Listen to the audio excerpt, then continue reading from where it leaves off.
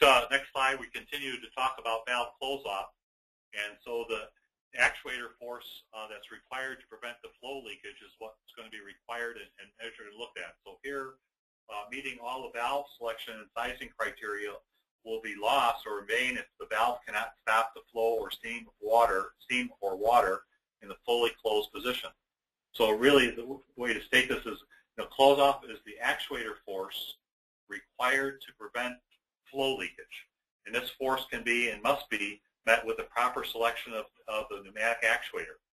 So the valve must be able to close off against the water sink flow completely so that this, and I'm trying to get the cursor to come across here, so this red area, area here as far as the uh, is the flow, and we need to have this plug be seated down in here to stop the flow of water in this particular case.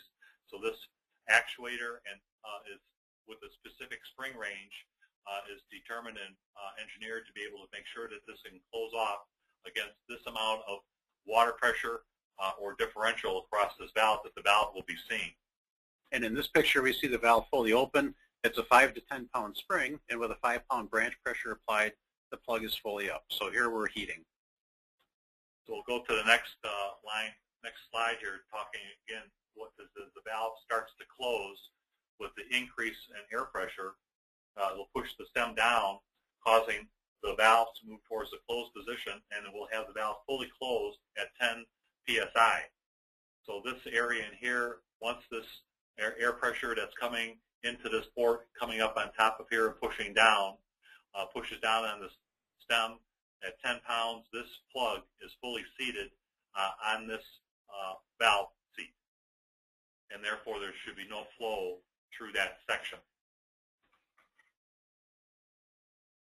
You want to take the hmm. next one here? Okay. So when you look at the net force applied to the valve stem downward, it's really the force developed by the air acting upon the diameter of the diaphragm, but being opposed by the spring and the dynamic forces on the plug.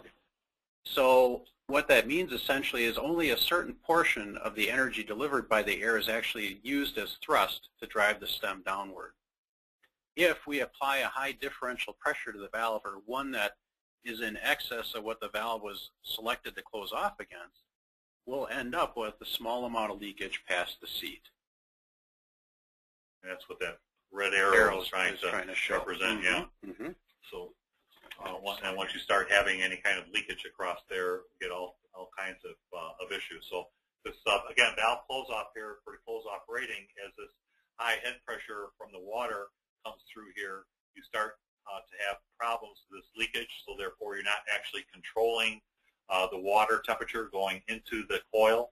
Uh, you're getting valve wear, and what we mean by that is that as the water or steam that's coming across this plug has got such a small area to come across as it's leaking, it actually starts to cut into the uh, valve seat and start to cut into the actual uh, plug assembly and erodes away a certain section of the metal there that if it happens over a long period of time, uh, you'll get a valve that's continuing to leak all the time and will not be able to control the system.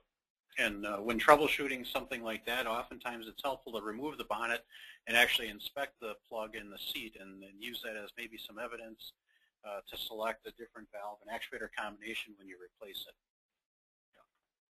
And what we'll see next is what is typically done to counteract that in a normal system. As the upward force that's working in opposition to the actuator becomes greater with the greater differential across the valve, if the valve seat is still good, the temperature in the space will continue to rise, the branch pressure from your thermostat will increase and apply more downward force. And again, if the valve seat and uh, plug are good, we'll apply enough pressure to ultimately seal that valve off. But as Carl had said before, if it's wire drawn or damaged or otherwise compromised, additional branch pressure on the actuator will not change or reduce the flow of steam or water through the valve. Well, let's take a look then at the next slide, which talks about uh, close-off tables. And this one's a little bit difficult to, to read, so, so bear with us here. Uh, as somebody, as an application engineer, is looking at designing and applying what is the right size valve and what is the right size actuator, uh, they go to a, a, table that might look similar to this. Uh, the first part that we're looking for is that on the side here, they're looking for a particular two-way valve, and this is a two-inch valve with a part number V as in Victor 5011, N as in Nancy, uh, 1099, it looks like. And if we take that same valve and take a look at what this column coming over here represents, we then apply a particular valve actuator of whether it's normally open or normally closed, stem up or stem down with, without air pressure. We find that model number, and this particular selection, we're looking at an MP953C 1067, and we come down in this column, match the left and right, and we see that this red circle is circling 122 psi of pressure, which means that this will uh, close off, this actuator with this valve combination will close off against 122 pounds of pressure differential across the valve.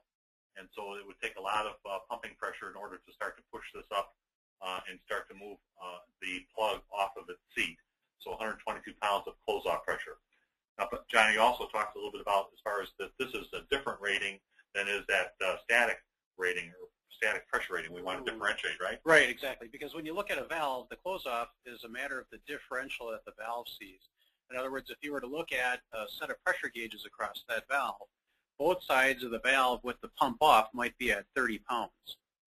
And the valve really doesn't see any differential to act upon.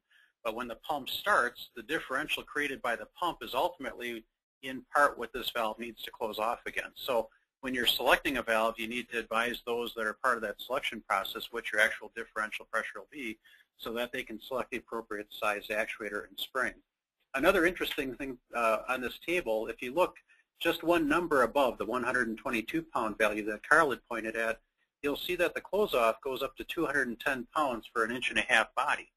Well, it's the same actuator, and the only difference essentially is that the plug inside the one and a half inch valve is smaller, there's less surface area for the water or steam to act upon, and that's why our, our net force available for closure is higher with a smaller body valve. So the big issue that you have to be careful of when retrofitting or selecting valves, especially as they get larger, is that we need to keep in mind the spring range and the actuator size so that we have enough net force available to close the valve. Now, what's interesting here, and we might not have been uh, real clear on it before, but with the normally open valve examples, the branch pressure aids in closing the valve, meaning as the pressure rises, the stem is driven down against the seat and it closes. Normally closed valves, however, don't rely on the air pressure to close them. It's the spring range and the actuator size that ultimately gives you your close off there. So in the absence of air, again, being that it's a normally closed valve, the valve closes, but its closure pressure differential is a function of the spring range and actuator size. Great point, John. So I just wanted to clarify that. We'll uh, jump to the next uh, table. This is for uh, electric actuators. We won't touch on this much, but as you might imagine, a uh, electric actuator and valve combination has to be selected with the same concern and care to allow that to be closed or open when it should be. The next slide shows kind of a visual wrap-up of uh, what we just talked about in the table. So across the bottom, although it's very difficult to see, there's the close-off pressure ratings. Diagonal lines are actually the different valve flow coefficients or valve sizes, the equivalent of it essentially. Every valve has got a flow coefficient and a valve size. But what you can see is the, uh, the lighter slopes, the lower CVs have the higher close-off pressures than obviously the larger CVs, larger valves. And this graph kind of depicts the, the culmination of the spring range, the close-off pressure, and the valve size. Anyone helping you to troubleshoot a valve here at ICD will probably be using a graph very much like this if you should happen to call and uh, need to specify a replacement or if you're troubleshooting a valve that isn't acting properly.